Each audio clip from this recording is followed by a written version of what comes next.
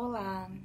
Tu também conhece alguém que vive, parece que, num mundo paralelo, acreditando em teorias que não têm comprovação científica e, no final das contas, sendo egoísta?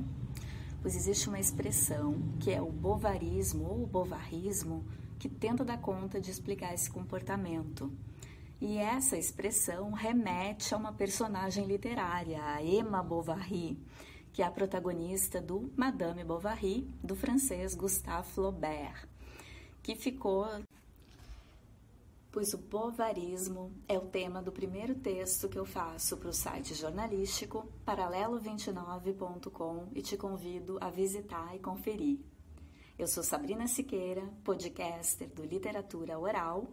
Te convido também a conhecer o meu podcast em todas as plataformas digitais de áudio e no meu canal do YouTube. Nos vemos por aí.